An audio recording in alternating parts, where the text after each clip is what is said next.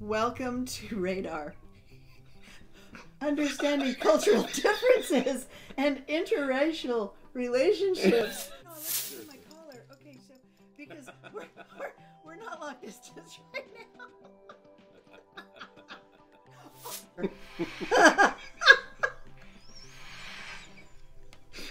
I just snort. okay. Okay. Define define culture. We have our Culture. notes. What okay, does it we say? seried this. You do it, honey. You do it. Okay. I'll do it. Culture. The customs, arts, and social institutions and achievements of a particular nation, people, or other social groups. What the heck does that mean? I don't know. I think it has something to do with people being different. Think about what you were raised in. Your family, your friends, your religion, your ethnicity. What does ethnicity mean as well? What does religion mean? How does that surround you? What kind of changes are occurring for you? What's what influences you in the small microsystem to the mesosystem? Right? Right. What we want to talk about today is how do two people from different cultures meet, fall in love, and have a sustaining, long lasting relationships? And as we talked about this, which we have at length many times, we've come up with three key points. And the first one that we want to address is the first really important thing is to know and recognize you have cultural differences and what are they? As you can not- see, we have not really recognized that yet We because we're we're yeah We look We're twins, exactly like, right? like- did you we feel We're like we- we're so twins. We have different color, but we have so many other things that are the same. But our culture doesn't show up in our color much, and we'll talk about that. The next thing is okay, so the first thing is to know and recognize. The next thing is to talk about it. Talk about it often. What are your differences? Like, yeah, you were raised differently. I can see why that is. And then the third thing is to accept the differences that you have hmm and honor and respect them and flow with them. So, we wanted to talk about our background specifically that you may relate to in terms of how we were raised differently in a very different culture. And it isn't so much white and African American culture. Do you think it is? Well, it's American culture. We were raised in a different American culture. First of all, I'm an only child. I was raised by my mother, who was a maid, and I went to a predominantly white school. Thing, um, that I think most people take for granted is when they have a household with a mother and father in it. Um, it It's the normal. it's normal. It's Everybody in your neighborhood Yeah. Mm-hmm. is is the same. It was different in my neighborhood um, growing up because there was not a father figure in my household. What? religion. I was raised in a really strict religious, well, say LDS environment. And I rebelled as a teenager, but then grew up and I was fine with it. And then got married at 19. I was, had a baby. I was pregnant the first month I got after I got married. Had my first baby at barely age 20.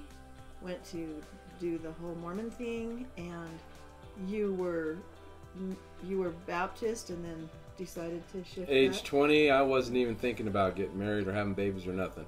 All I wanted to do is have fun. and football and football and football. and Football, and football, and girls. Mm-hmm. Know. so we would have not gotten together at that time, at all, Why is that, honey? because you weren't Mormon. I wasn't Mormon. I know. Right. Yeah. Ugh. And so then it brings us to their similarities now, later in life. And so many times during, and it's very important to marry within that culture as tight as you can. And this is academically speaking. When you have cultural differences, it's going to be difficult, period. If you had different types of parents, working, lazy, drug addict, whatever it is, if you both have drug addict parents, it's almost going to work better than if one didn't because you understand. Mm-hmm. So well, I'm just saying to match culture as much as you can. And culture isn't just ethnicity, it's everything that contributes to who you are.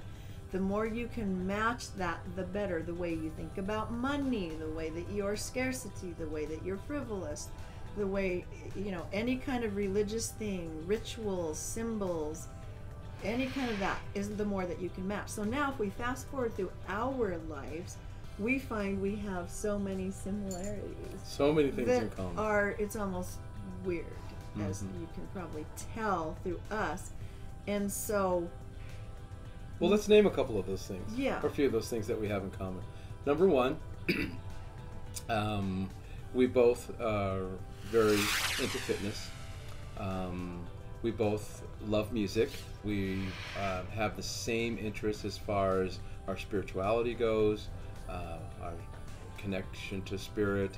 Uh, we love the om symbol we have uh, um, the lotus flower things around the sacred house. geometry. sacred geometry so we have the same kind of spiritual vibe. connection that way. It's not a religion.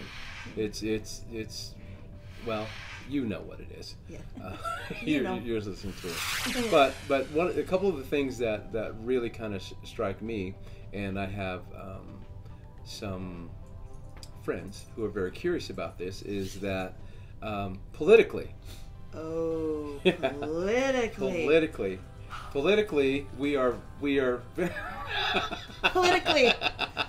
we actually talk about it. He's just wrong so he needs to understand that he's actually really believes more. What i believe he just thinks he believes what he believes because he was trained to believe what he was believing. He just agrees with that believe what he believes Yeah, what she says, but wrong. You know, we our our our uh, political differences have nothing to do with our relationship together as people. It does not separate us. It doesn't so much bring us together, but it does not separate us. It doesn't make us not want to be together because it doesn't matter really, really how you feel politi- politically.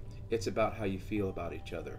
but he's so cute i don't care what he does Other differences is that she came from a large family. Um, this many- is probably the biggest cultural difference we have right now. And so, as you think about your life and what your cultural differences are, I don't care if you're the exact same color, same height, everything's the same. You will have some differences, like your family hugs or your family doesn't hug. Those are cultural differences. For us, I have a million children and a trillion grandkids. Okay, fine. Five kids, and look how big my hand is. Five kids, and and 13 grandkids right now. right. So when my little the little twins come up to him and they take his drink from him and they go some some some and they and then he takes it back and goes Yeah, that's gross. we laugh. And that's the thing is about accepting differences and that's our third point hmm is to accept differences and you do and you know you have a certain amount of stamina to be around the kids and I know he has a certain amount of stamina. Because now, I- he teaches I'm high an only school. child. Hello, but you teach high school. Yeah, but I'm an only child and I have two children Right. of my own, and and so that is very different. And But you growing teach up high school, babe. If you I- didn't teach high school, I think you'd have less stamina. for For my te- my kids, that like, is true. all the stuff that, That that is that is true, because I adult kids that do. are having stuff. Or I am around a lot of different people all the time, so my stamina is okay for that. But that's that's that's a big big big difference. Yeah, it really you know, to is. try to get used to. You know, you're talking about holidays and traditions and and all of those things. When you have a small family, you don't. You're loose. Yeah, you about you don't really celebrate big like that. And You we have everything holidays exactly. come and they go, and you and you do whatever, and then you know they're over. Mm-hmm. But bigger families, they go all out, and because there's so many different people with so many different so many. yeah opinions. And then you so- and, and you know our tradition, our culture, is that you go to everything of everybody's. And you know I've started to shift that a little bit to tell my kids, hey, I can't drive 30 minutes for his soccer game. That's in the snow, and he's only two. And and I come a lot, but I think that I've shifted that to match you a little more, where I don't go to everything and do everything, but the important things we do, and then you're kind of, you know, shifting to my way as well. So this is in process for us, and that's what's cool is is as we follow the three key points, it's helped our relationship, and we hope it will help yours as we conclude here. So remember, know and recognize your cultural differences that aren't just color. And if it was color, it would be all the same. Cultural differences in terms of how you're raised and all that. You know, there's the variables of that in a culture. Mm-hmm. that's from a different race, like your traditions of like the Samoans have a thing they do, the Asians, you know, Asian people have different traditions, rites of passage, or whatever. So, no one recognize. Second point is talk about it a lot. He's constantly saying, "Yeah, that's a, one of our cultural differences." Mm-hmm. And the third thing is to accept differences and embrace differences and love the different types of culture that that someone has. I love cornbread on Thanksgiving. Mm. We're on our journey and we'll be in touch about our progress and we'd love to hear more from and, you. and we got more stuff And to we talk got so much more. We could sit here for a really long time. So hopefully this has been helpful to you. I hope you can look at your partner and, and really attend to these three key points. So we'll talk to you later. Thank you for joining us. Bye bye.